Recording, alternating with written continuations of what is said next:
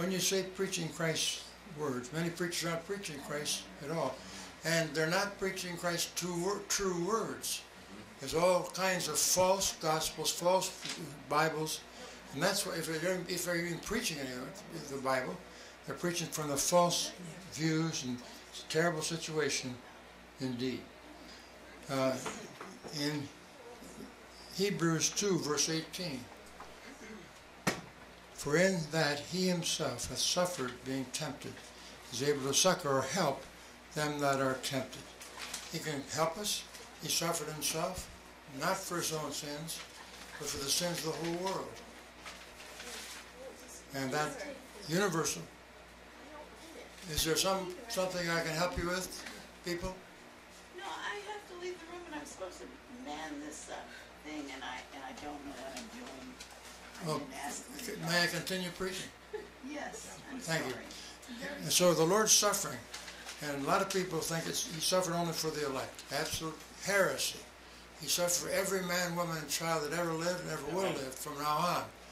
That's universal suffering for us, not universalism, but the provision was made for every soul that ever lived to be saved if they would trust the Lord Jesus. As you say, provision is not possession. Provision is okay if you want it. You've got to accept the Savior as yours. And Hebrews 2.18, and that he himself hath suffered being tempted, he's able to succor or help them that are tempted or tested. He can help us. He knows what temptation is. In Hebrews 5, verse 8, and though he were a son, yet he learned obedience by the things which he suffered. Learned obedience. Obedience to the Father, the Father's will, no matter what it is. He was obedient to God the Father. In Hebrews 13 and verse 12, Wherefore Jesus also, that he might sanctify the people, set them apart, make them holy, with his own blood, suffered without the gate. Now, the gate was a city wall, suffered without the gate. He's means outside of Jerusalem. It wasn't inside Jerusalem, it was outside. They didn't want to have that death inside the city. They just put him way out without the gate, without the beginning of that city. And to sanctify and to set apart those that trust him. Then 1 Peter 3 and verse 18. Christ also hath once suffered for sins. Not like the Roman Catholic Church, the Mass, pretending to be like Christ dying every single time the Mass is, is, is used. And you know that's every Sunday all over the world. But the scripture is clear. He suffered only once for sins. The cross of God. The just for the unjust. We're the unjust and he's the just. That he might bring us to God. He could bring us to God by genuinely faith, having faith in him. Being put to death in the flesh, but quickened, made alive by the Spirit. And the Lord Jesus was just that perfect man suffering for the sins of the world. Let's read verse number two together. That he no longer should live the rest of his time in the flesh to the lust of men, but to the will of God. Now, he suffered once, that he should no longer live the rest of his time in the flesh. When he died, the Lord took him to heaven, and he was taken up and after his death, resurrected bodily and taken to glory. Not the rest of he came here as an example for those that are in the flesh, those that are persons. And that's how he could be, have the feelings of everyone that was in the flesh. As see, he was perfect. The rest of us are not perfect. It was important to the Father, to the Son, the Holy Spirit, that he be incarnated as a human being, but yet sinless, perfect God and perfect man no longer rest of time, but the will of God. So he was taken to glory, and he's there at the right hand of God now as our Savior. Let's read verse number three together.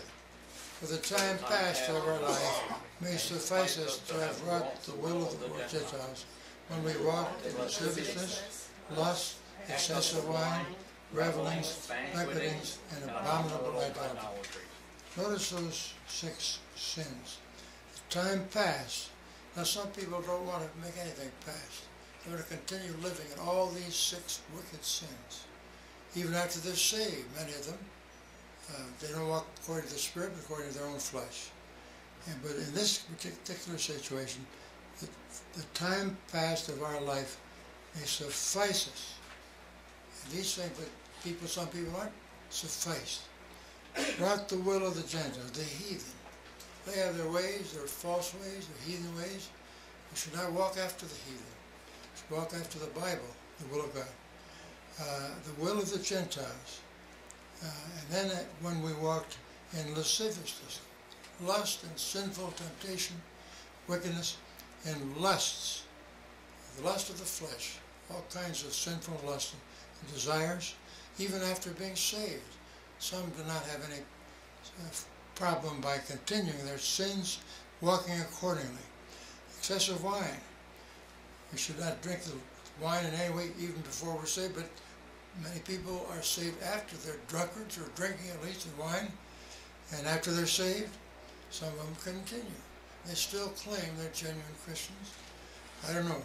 God should be the director of their lives, not wine of any kind, whatever kind of wine it is, or alcohol. Revelings. That means having all kinds of sexual activities with different people. Revelings in some other ways, whether the dancing or whatever things be part of that reveling. Uh, banquetings, having big sagas and things to, to, to, to eat and be together and uh, banquetings that are not always proper banquetings, but improper. And the sixth thing that we lived in a time past, abominable idolatries. Worshiping things that are not God, worshiping idol, idols, things like that. This is a terrible thing. Now, uh, one thing that I said about this, it says in time past, may it be time past for all six of these sins. But keep the times past past. That's what I've written down. Keep the times past what you were, whether these six things or even more or less. Keep them past. You don't have to continue them in the present. Live for the Lord Jesus Christ and not wickedness. In Galatians 1.13, ye have heard of my conversation in time past. Paul said, you knew what I was. Uh, I imprisoned Christians. I was with them when they were killed. I urged people to kill them. He was at the uh, stoning of Stephen, the first martyr. They, they, put the clothes right at his feet. He was the, the lead heresy, the lead Pharisee at that terrible thing. Keep the times back. You've heard my conversation in time past in the Jews' religion, how that beyond measure I persecuted the church of God and wasted it and the lust of the past of our life may suffice us. Keep it past. In Ephesians 2 and verse 2. We're in in time past again. Another verse on time past. You, you at Ephesus walked according to the course of this world. The world is a wicked world, and it's more wicked now than it was 20, 30, 40, 60, 100 years ago. Uh, what, what end? There's no end to it. How more wicked can it be? Corrupt, in every way, way shape, and form. Uh, the sin of, for instance, of homosexuality, that's rampant now, it's running its life past and continuing present and in the future. You can't say anything against it. In fact, uh, President Trump went to the big uh, observation of homosexual uh, sin and wickedness, and he's all for it. He's not going to put anything against it uh, he's not biblical in that sense in many other senses as well. But time passed. Walk, you walked according to the course of this world. The world says, do. That's the way time passed. Keep it fast. This church at Ephesus. Now, who was leading them time past? According to the prince of the, the, world of the air, the prince of the power of the air. That's the devil himself. Uh, this is what these Ephesians were doing. The spirit that now worketh in the children of disobedience. The evil spirit, satanic spirit. And that's what the life was in Ephesus before they were saved. As is keep in times past, past. Don't continue it. Don't uh, continue doing what you're doing. That was bad. Then in 1 Peter 2 and verse 10, which in time past were not a people, but are now the people of God. They've changed. Keep it changed. Forget the past. Stay out of the past again. Which are now had not obtained mercy, but now have obtained mercy. They're walking the, with the Lord and doing what He wants them to do. Let's read verse number four together. Wherein they think it strange that you run not with them the same excessive pride, speaking evil of you. So as this verse is, those people that are lost and unsaved, or even saved Christians that are not walking with the Lord, they think it's strange. And if we walk not with the Lord, uh, they think it's strange that you run not with them. Continuous action, continuous, they continuous think it's strange. That's another present tense. Uh, the, the lost people continue to think it's strange and continue that they you don't continue to run with them. Now, some Christians, or nominal Christians at least, run with the world many times. Some of them drink, some of them use foul language. It's a horrible thing. They should not run with the world and continually run with the world. We're in the world, but we're not of the world. The world should not own us. We should not be obedient to the world or the things of the world.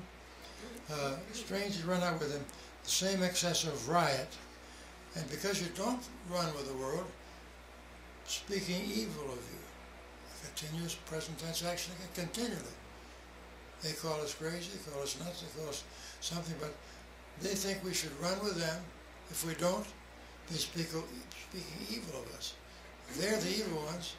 They don't know what's evil, what's good. They, they speak evil of those that are strong, strong for the Lord. It's entirely wicked the way this is, but uh, sometimes being spoken evil of is good. It's a testimony that they don't like those that stand for the truth and for the Lord Jesus Christ.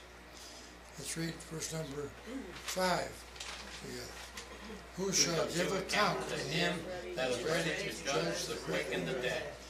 All those that are running evilly and lost, they were going to be give account one day to him, the Lord Jesus Christ, that is ready to judge. Now, that ready is also present, continuously ready to judge, and he's the judge that God has given to be the judge. God the Father appointed the Lord Jesus as the judge of, and he's ready to do that, continuously ready to judge two kinds of people: the quick, and, that, and the second one's the dead.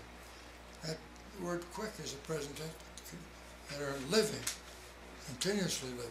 Quick means living, and then the dead are lost and bound for hell. Now, all of us, human beings, will give an account of the Lord Jesus Christ.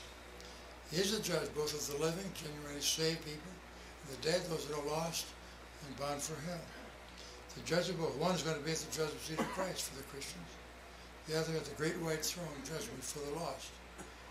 So first of all, judging the living and the dead.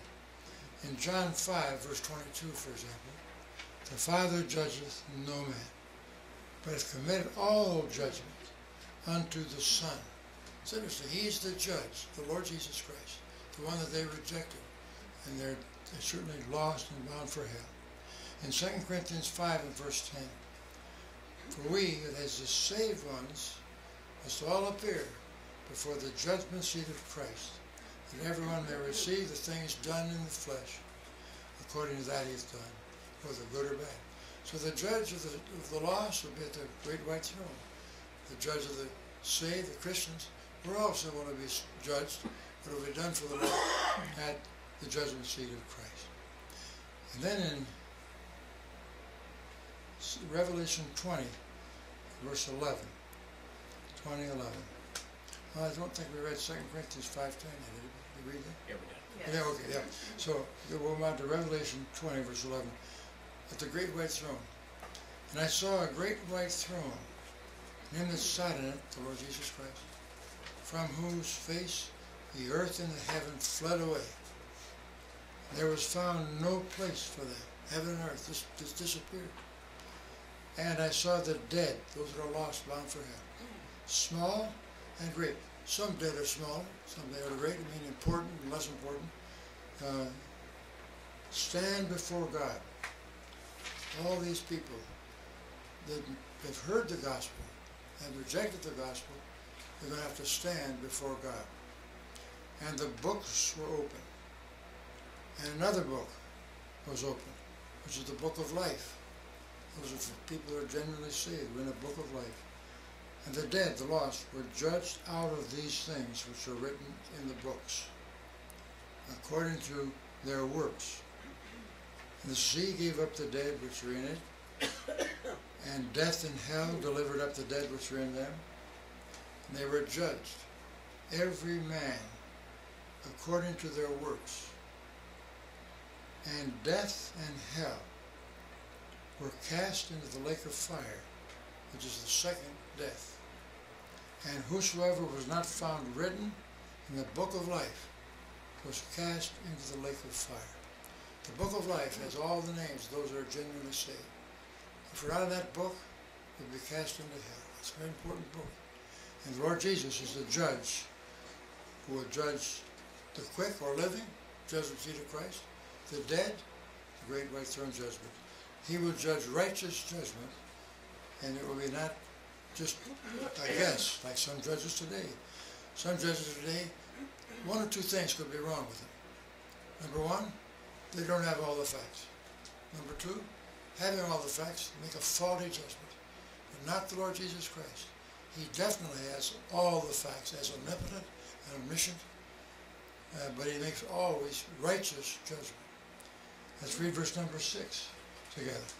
For this cause was the gospel preached also to them that are dead, that they might be judged according to man in the flesh, but live according to God in the Spirit. Now, the need to preach the gospel. The gospel is preached. I have a total of 14 verses on preaching the gospel. That's why I call the message what I called it Christ preaching the true word, the true Bible, the need to preach the gospel. In Acts 16 and verse 10, after he had seen the vision, that is the apostle, and immediately we endeavored to go into Macedonia, assuredly gathering that the Lord had called us for to preach the gospel unto them. These people in Macedonia, they were lost, bound for hell, and Paul was called to preach the gospel to them. Then in Romans 1, in verse 15, so as much as in me is, I'm ready to preach the gospel to you that are at Rome also. The gospel, the good news, is prefaced by the bad news. All are sinners and bound for hell. And the gospel is the Christ himself, the Lord Jesus Christ himself, is a Savior of those who trust him and accept him and believe in him. And without that, hell is the destiny and the destination. ready to preach the gospel to you. Then Romans 1.16, we know that, know that one, I say it together.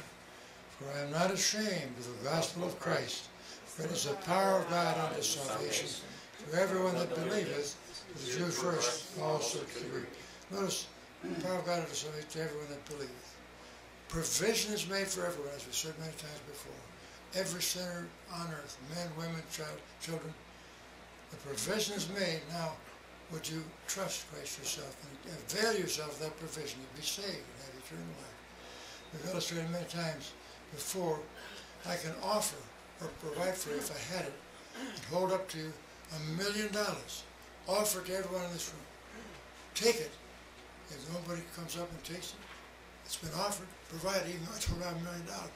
If I had, but you're not receive it, just because something's offered, you must accept it and receive it. Christ offers us eternal life. We must accept that and receive it. Then in, uh, that's Romans 1 16.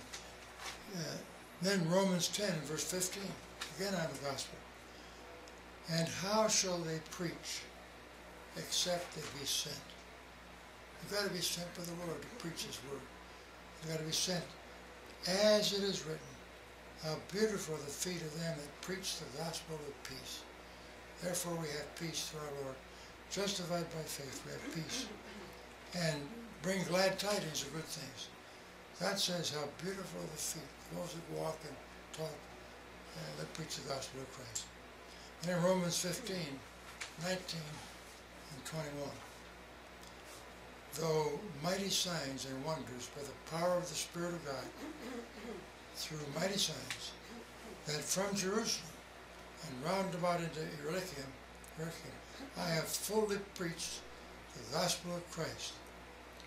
What Paul says is faithful in those areas. Illyricum, it's a hard, it's a funny one. I have fully preached. Uh, yea, so have I strived to preach the gospel, not where Christ was named. He doesn't want to repeat himself. If somebody's preaching the gospel, he goes to another city. And Paul was faithful. And lest I should build upon another man's foundation.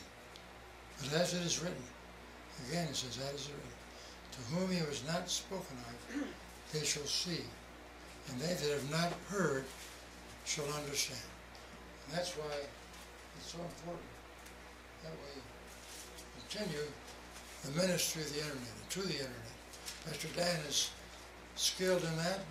He, he brought it to our church, and through that church, what I read there about the outreach of the, our church and the internet, amazing how many thousand listen to us, uh, download this, various things. We praise the Lord for this. And people that are not on the internet, just what they have. Some of them have big churches, uh, but no internet ministry. Uh, but they must be faithful to preach Christ no matter what. And then uh, in Romans 15 and verse 28 29, and I'm sure that when I come unto you, I shall come in the fullness of the blessing of the gospel of Christ. A lot of people, when they hear the gospel, it starts out with, You're sinners and you're, you're lost, you're bound for hell. That isn't a blessing to them. It says, I shall come in the fullness of the blessing of the gospel, to be redeemed. When I was 16, 17, I guess it was, and heard the gospel the first time, I was a Methodist, went to the Methodist church. My mom told me I got to go as a son. That's what mom's supposed to do. Young children, they should obey, and I did. She gave me a choice, either regular to the church services, which I attended once or twice. It was such a, I look back at such a modernist preacher, didn't say that the Bible is talking just about general things. Either go to the morning service, they didn't have an evening service, or to Sunday school. I chose Sunday school. I went a couple times to the morning service, couldn't stand it. Uh, so I went to Sunday school, and we heard the scriptures. He taught the scriptures. He wasn't as clear as he could have been, but he's an older man. Mr. Oakley is his name, and uh, he was an alternative. Later on in life, I found out he was saved. He was saved. He taught Sunday school, but he didn't make it clear what salvation was to us young people. But uh, of the blessings of the gospel of Christ. But Uncle Charlie, who was a caretaker of our school, Uncle Charles Allen, did bring the gospel clearly and straight to me down in his boiler, boiler room. He told me about the fires of hell. I could feel the heat. I knew exactly what that was. He gave me the gospel of Christ, and it was a blessed gospel. Didn't hear it in the church. In fact, after I was saved, my mother didn't like me going to another church to preach the gospel. It's the same church that my wife went to. And uh, she, she hired a preacher, Pastor Manton, I guess was his name. And uh, she said, take my son out and see if you can, you know, help him change what do something. He, I argued with him. Because he was telling, giving me things that were not gospel, not truth. But the blessings of the gospel of Christ. She should have been thankful that her son had been saved by the grace of God through Christ. And not to cry out against Uncle Charles Allen, who led me to the Lord. Blessings of the gospel. Then 1 Corinthians 1, verse 17.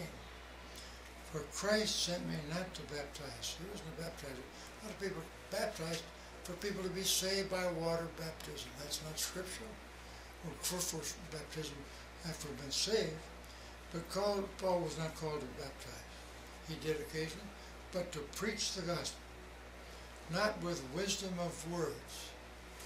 Not with wisdom of words, lest the cross of Christ should be made of none effect.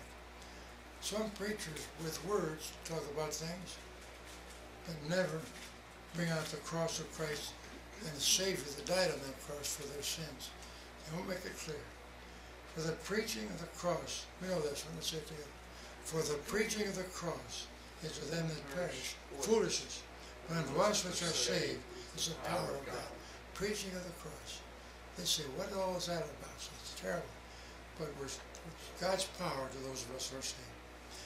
And then in 1 Corinthians 1, 1 to 4, Moreover, brethren, I declare unto you the gospel which I preached unto you, which you also have received. Now it's important that we not just hear it, but we receive it. The lost need to receive the gospel.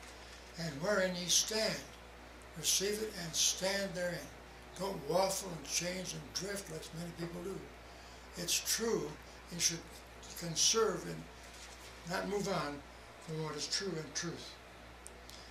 I declare the gospel which I preach unto you, wherein you receive, wherein you stand, by which also you're saved. The gospel. You should stand for the gospel, exactly what it is. Christ died for the sins of the world and rose again and offers salvation for those that believe.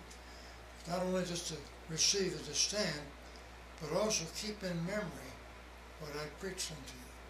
Keep in memory, don't lose it, don't forget it. Uh, be wise about it, tell it to others, unless ye have believed in vain. That's a sad situation when you believe in vain. You say, I believe, but it wasn't sincere, it was in vain. It was foolish, uh, and that's so many people. Uh, a lot of people go and visit different homes, different cities, different places. They come back and they say, I led 15 to the Lord. Some of those very well may have been in vain, believe me. I know I visited a house as a pastor first, I think, back in Newton, Massachusetts. And uh, this man I gave the gospel to, he said he believes on, but it was in vain. He never came to church, never did anything about it. Uh, so it's easy. You want to get me out of the house, I guess. Didn't want to be bothered with a preacher talking to him about the Bible, about the Bible, about Christ.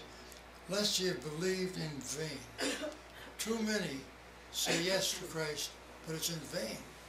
Uh, God says, I read the heart. You don't believe just in vain and forget the thing. Uh, preach in vain, no, lest it should be made of none effect. For the preaching of the cross is to them that perish foolishness. Unto us are saved, the power of God. God's power to save. Then in 1 Corinthians 9 verse 16. Though I preach the gospel, I have nothing to glory of. He's not going to boast this. For necessity is laid upon me. Yea, woe is unto me if I preach not the gospel. He was called by the Lord Jesus Christ when he was a sinner, on the road to Damascus, ready to imprison, probably slay some of the Christians. And he never wavered from that salvation, that trust. And he, he went to preach, declare the gospel by preaching you what ye have received and wherein ye stand, by which also ye are saved. If you keep in memory what I preach in you, and don't change it unless you believe in vain. And many times people believe in vain and nothing to it, don't agree with it, something different. And how that Christ died for our sins according to the scripture. He died for the sins of all of us. And that also he was buried, the burial of Christ. And that he rose again that third day according to the scripture. That's the gospel. That's the truth. He died for the sins of the world, that we must trust in him. In 2 Corinthians, let's see, if the now, if, the, if this 2 Corinthians verse, verse 4, if the gospel be hid, it is hid to them that are lost, in whom the God of this world hath blinded the minds. The God of this world, that's Satan. Satan and his fatherhood and his kingdom wants to stay as it is increase and grow. And everyone that's not in the kingdom of Christ, Lord Jesus, by trusting him as Savior, is, the, is in the kingdom of Satan. They don't admit that, they don't agree with that. The choice is ours.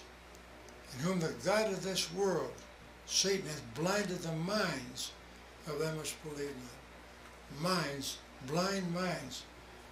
lest the light of the glorious gospel of Christ, who is the image of God, should shine unto them. Satan doesn't want anybody to leave his kingdom. We're born in his kingdom until we save, are saved and trust Christ as our Savior and get into God's kingdom, the kingdom of God, we're still Satan's kingdom. He wants to keep everyone in that kingdom with him, the God of this world. And lest the image of God, the gospel of Christ, the glorious image of God, and gospel of Christ should shine unto them. He blinds their minds and blinds their eyes. In 2 Corinthians 10, verse 16, to preach the gospel in the regions beyond you, and not to boast in any other man's line of things made ready to your hand. It is why just come along here and not preach the gospel of truth. Some people are made ready, some things that are made ready to our hand. Then in 2 Corinthians 11, verse 4, For he that cometh preaches another Jesus, whom we will not preach. Uh, to preach another Jesus, 2 Corinthians 11, verse 4. Not the Lord Jesus Christ, not perfect God, perfect man, not the Savior, not the, died, the one who died on the cross, bearing, bearing the sins of the world, not one that was buried and then rose again bodily, and then went ascended to heaven.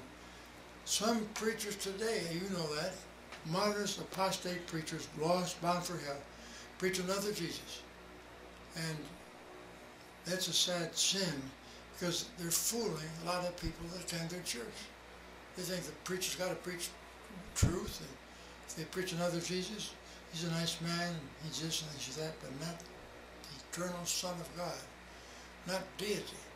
They shirk at deity, uh, whom we have not preached. These people are preaching another Jesus whom we have not preached. He preaches straight, Paul does or if you receive another spirit instead of the Holy Spirit, instead of trusting Christ and receiving immediately the Holy Spirit of God. Maybe an evil spirit. That's a false one, which ye have not received, ye, ye who are saved, not received. He's preaching, preaching another spirit. Or another gospel. We've said that many times. There's so, so many gospels in these modernistic, liberal, apostate churches. Where do they get this other gospel? in the schools they go to, and other places, and for their, from their friends, other preachers. Uh, but they don't get it from the Bible, this other gospel. And the people who listen to that other gospel, one of the gospels is universalism.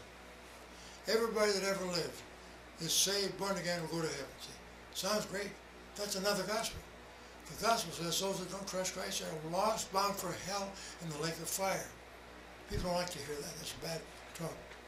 But they're preaching another gospel, makes them more money, and the people that are millionaires continue to attend their church, don't preach anything about that they believe, just talk general terms. Another gospel that you've not accepted, and that ye might bear with them. That's why they preach another gospel, that the ones who are the hearers might bear with hmm. these false preachers and say good things about them. Then Galatians chapter 1, verse 6 through 9. Paul says, I'm marveled, as ye so soon removed from him that calls you into the grace of Christ unto another gospel. It's horrible. Paul preached to them in Galatians. He wanted to trust the Lord and be, be saved. Another gospel, which is not another, but there be some that trouble you and would pervert the gospel of Christ. Gospel perversion, gospel perverters, changing. Not that everybody is a sinner, not that people that don't trust Christ will go to hell. Another gospel, which they've, another, they, some of the trouble, they pervert the gospel. But he says, but in Galatians 1, 6 to 9, though we an angel from heaven preach any other gospel unto you than that which we have preached unto you, let him be accursed. Accursed, bound for hell, the curse of God upon him. That's strong language. Let him be accursed. As we said before, he repeats himself. Wants to be clear.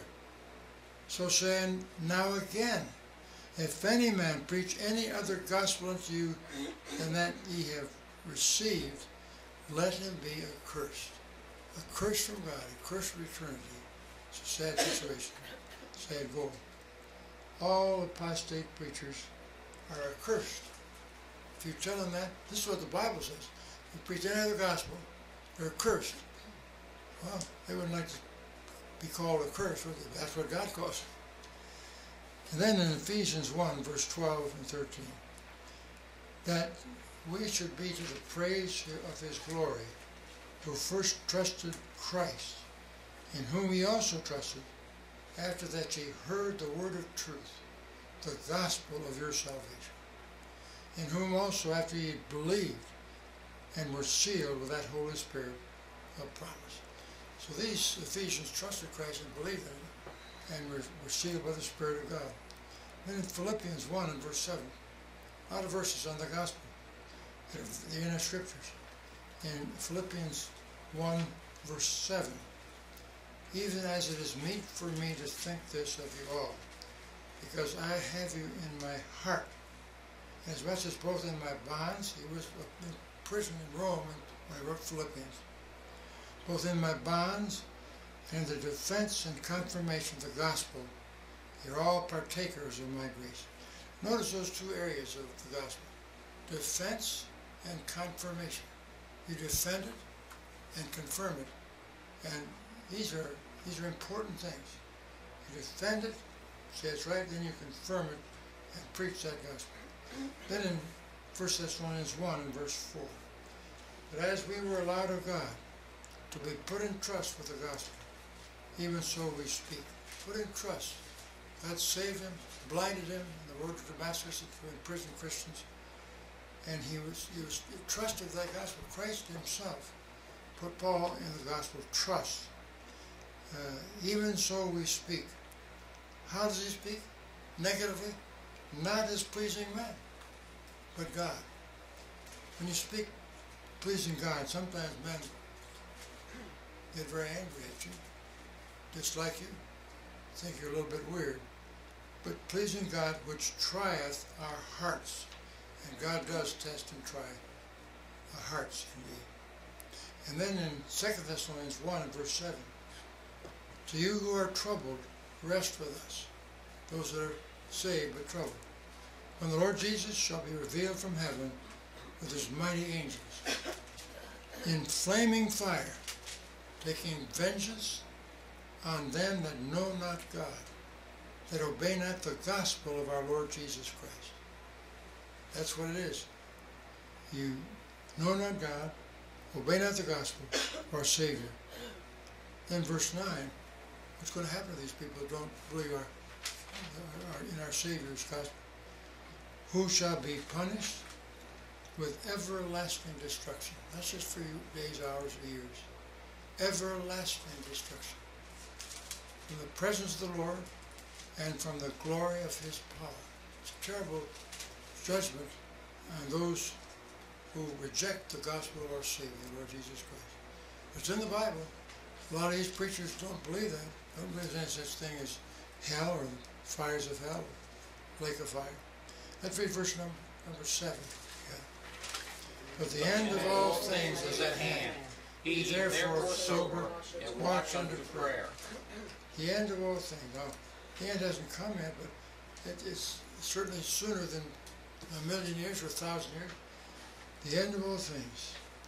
Therefore, be first of all sober, not giddy and laughing all the time and uh, hurrah. Be thoughtful and serious minded. That's a lot of words, there are a lot of terms that sober, sober, sober means. Very important. Be conscious and not just raving and raving. Secondly, watch into prayer. Don't forget the prayer life. If you're genuine saved, you can pray to the Lord. Watch unto prayer.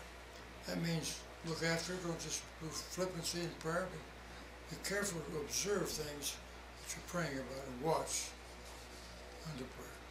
Let's read verse number 8 together. Above all things, a fervent charity among yourselves, for charity shall cover a multitude of sins. Now that's how fervent charity is in the present Greek tense, continuously fervent charity or love among yourselves, or Christian believers, though we may differ in doctrines here and there. I'm talking about general Christians all around the world. Uh, we trust in a local church, our doctrinal statement is there, and we agree with that, but there may be some Christians that are genuinely saved. They may be Arminians, believe you can lose your salvation. We don't agree with that, but we have fervent love or charity toward all of them that are saved. We're going to meet them in heaven, even though we have doctrinal differences down on earth. And we should have love toward them regardless. We don't have to fellowship with them. We don't have, we don't have to go have services with them and join them in worship. We can have fervent love. It doesn't say join the same church and so on and so forth. But fervent love among yourselves. Now, among yourselves would be the genuine believers, those that are genuinely saved, and uh, whatever their doctrines may be. But if we're doctrinally the same, similar in doctrines, we should have even more than fervent love, but continuous fervent love and truth. For charity or love shall cover the multitude of sins. Don't look so hard at sins. We have love and charity for those that are born again, and saved. But whatever their doctrines may be, we disagree with their doctrines. Then in verse number 9, let's read verse number 9 again. Use hospitality one to another not grudging. Hospitality. That's one of the things that I asked my wife about before we had a church in our living room. I said, honey, what do you think? She said, no, we wouldn't go. I wouldn't be in the church, we'd have our living room furniture here, no internet ministry, no ministry in our church home, but use hospitality one to another without grudging. In those days, they didn't have a lot of motels like we have today. And when those people wanted to come to a city, they were invited by genuine believers to come in their house and stay with them a few days, whatever it is. We're using hospitality for our son, I think he's our third son, He's coming tomorrow. He called me up and said, Dad, his name is Dick or Richard. He called me up and said, Dad, you still have room in your, in your house for visitor? I said, absolutely. Third floor is a room. I said, uh, Lorraine and I are thinking of coming to your house and have fellowship with you for a few days on this Monday. So that's fine, Dick, you come. Hospitality without grudging. It'd be good to see him. I'm sure Pastor Dan, and his wife, would be good to see him too. And Anna, all of them. We go out to eat, I'm sure, and fellowship with them in other ways. Let's read verse number 10. Yeah. As every man. As every man hath received the gift, even so ministers the same one to another, as good stewards of the manifold grace of God. Now, the gift, whether it be of preaching, or the gift of uh, leading people to Christ, are the gifts of contest mean? We're to minister or to use or serve others with that gift. Now, some people don't have any gifts. Well, apparently here, there's a gift that every man, as every man has received the gift. The gift of salvation, perhaps, the gift of eternal life. Minister the same. That's a present continuous action in the Greek. Continue, minister, and use it, and give it to other people. And the same one to another. Minister the same, whatever give Minister that same gift, whatever it is, one to another. As good stewards. Now, to be a receiver of something is one thing. To be a steward, a good steward, to minister and to help others with that same gift. That's stewardship. And stewardship of the manifold grace of God. If you have a gift that you don't minister, you're, you're, you're stopping the free use of that gift. God does not want that. As good stewards of the manifold grace of God. And so, Peter, in this particular section of the scriptures, tells us a number, number of things.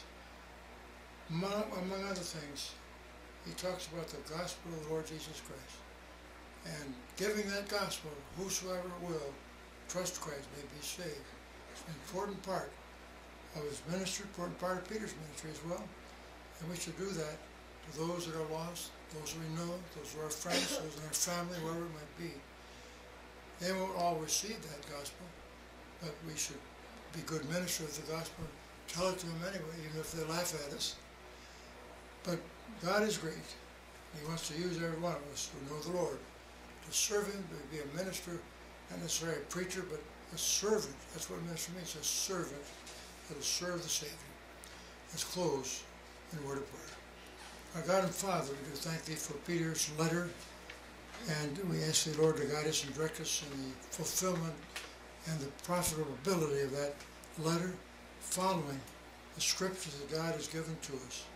We love thy sa- the Savior and love one another with fervent charity and acceptability and gladness one with another in service, loving the Lord Jesus Christ, our Savior. In His name we ask and pray. Amen. Okay, let's take our last final hymn today, which is 308.